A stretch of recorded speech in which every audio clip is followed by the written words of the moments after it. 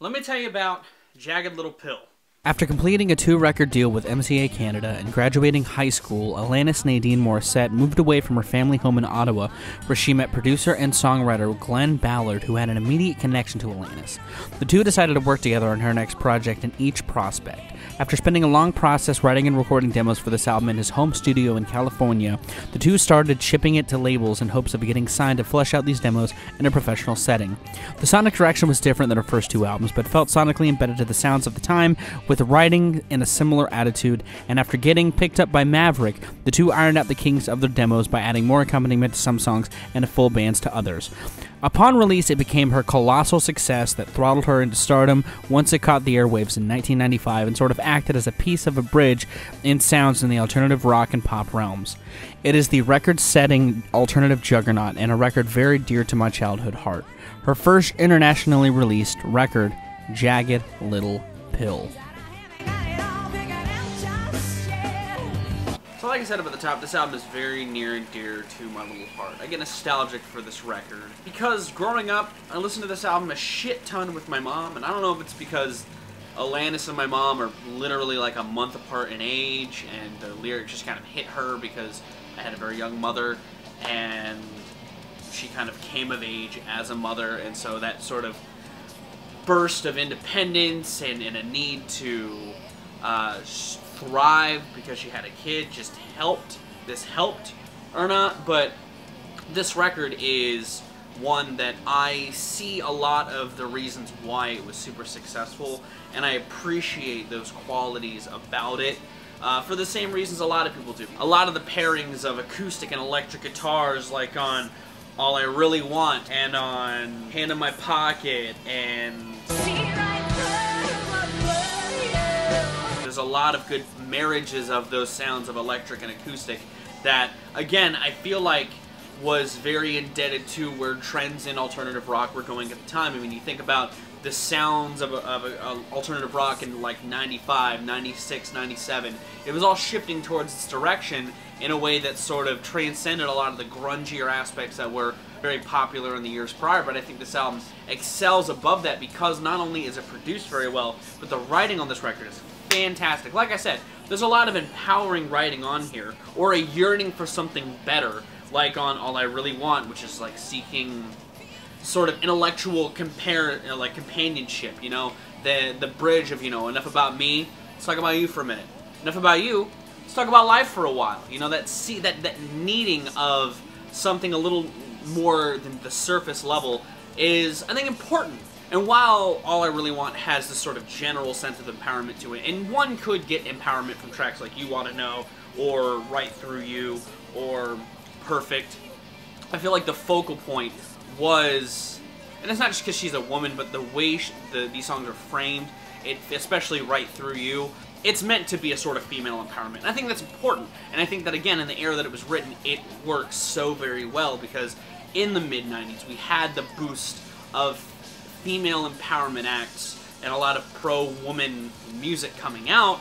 You know, festivals like Lilith Fair were happening, and I feel like this record was sort of definitely at the forefront of a lot of that. And I feel like Exceeds where some of those albums may falter because not only those songs with songs like You Ought to Know having this female sexual, like embracing female sexuality, but also spitting in the face of those that try to objectify that, like Right Through You, um, in tracks like Perfect that are about parents and how you may have had this sort of conflict with them, or trying to cope with your own sort of emotional shortcomings, like on Head Over Feet, or again tapping into that general sort of help or empowerment, like on You Learn, or again yearning for something more to self-empower, like on All I Really Want.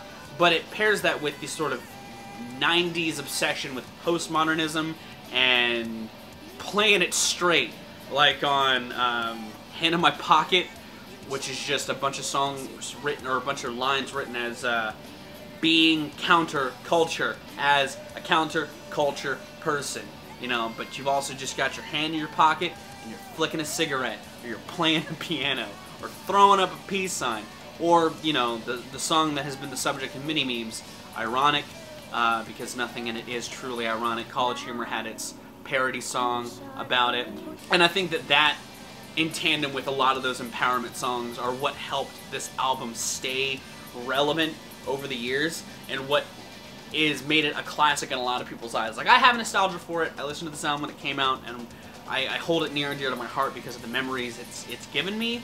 But I also still really enjoy this, not just from the lyrics or the production, but I think that, that as a whole, this package is just fucking great. I'm also a fan though of 90s postmodernism and 90s uh, alternative rock, and I love that this is a brilliant marriage of so many different facets in the alternative realm. Because you have you know the the pairing of uh, electric and acoustic guitars like what was going on a lot in the scene. You have the pro female lyrics like I had already mentioned a lot of the self-help lyrics that I think are really nice and and optimistic in a good way.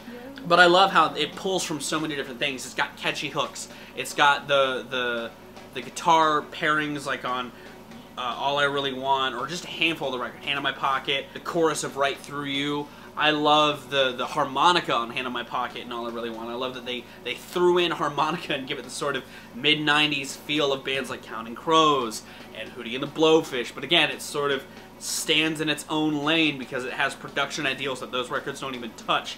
I love that it has this aggressive moment that doesn't really fit um, as a whole on You Ought to Know. Like, it's a great song, but it is like this apex of aggression that I really love, and I think that it's it's it's executed masterfully. A lot of this record is executed masterfully, and I think it helps that they did flesh out these demos so, I'm assuming, so passionately, because they slaved over a lot of the demos on this, and I think it shows because when it came time to knock it out in the studio, I felt like, given how some of these songs came together, like if you look into the recording, you know, Dave Navarro and Flea were on You Ought to Know, and, they, and I guess they've talked about the experience, and it was it was different. You know, it was it was it was a lot different than a lot of the execution that I feel like happens in a professional setting.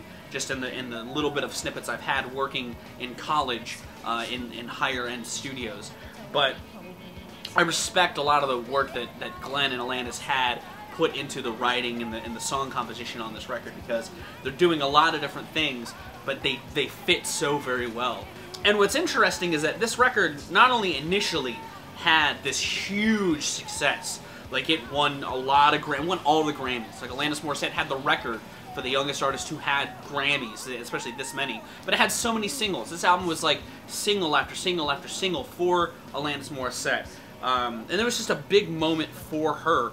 But in in 2013 they made a they made an American Idiot out of this record. There's a stage musical for it. You know, a lot of these songs are in pop culture. You ought to know has been covered, I'm sure, countless times. I know Jonathan Coulton did a really popular cover of it, or at least one that I had found. And again, there was the ironic thing that happened in the wake of the internet that when it came to really looking back on this record, people were like, ironic? It's not only that ironic of a song, but again, there's a stage play. There, there's a stage play for Jagged Little Pill and I think that's incredible. I didn't know anything about it until I was looking into this, but it debuted in 2018, and apparently it's an album, or it's a, a musical about pain, healing, and empowerment, which are the themes of the record. And I think that that's amazing because it's not it's not an album with characters. It's not an American Idiot. It's not a Tommy. It's not an opera. It's not a musical. It's not a Coheed and Cambria record. There's there's clearly lyrics that deal with personal things like Mary Jane and Perfect and dealing with all of these issues, you know, head over feet. But this record's lyrics do a good job at resonating past what may have been its initial inspiration of dealing with hardships as a woman, dealing with hardships, you know, in general, dealing with hardships as a woman in the music industry, or any any sort of overtly sexualization or anything that may put someone down because of the sexuality. And it's become this bigger thing. And that's amazing, and I'm glad that it exists. I have not looked in, into it like clip-wise, but I don't think anybody would have ever, ever expected that, especially Alanis, even if she's even, you know, gone into her own embracing of this record's classic status because she did an acoustic version of the record like 10 years later. She's doing a current tour 20 years later celebrating this record. It's, it's, it's a landmark achievement for her, and I'm, I'm happy that it exists. I'm happy that it's successful as it is because it's brought some cool stuff. And it's a record that I'll always hold near and dear right here. Uh, just right, right here. You know, that little, that little alt-rock juggernaut.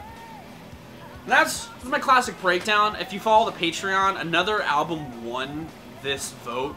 Um, but there was such an, a, a resounding uh, plea in the rest of the polls for this record that I felt like I had to do it. I look at the Patreon votes, and anything unanimous I feel like should be tackled. And this won, but there was also interest for this in the Patreon on top of on Twitter and on YouTube. So I factored all of that in. And if those wanting the album that I didn't actually talk about, I'll end up doing that the next time I do a classic album breakdown just because I don't want to leave you guys hanging. You know, those that, that support the Patreon, I take their support very seriously. But there is there was a, there was clearly a reason why a lot of you guys wanted me to talk about this record.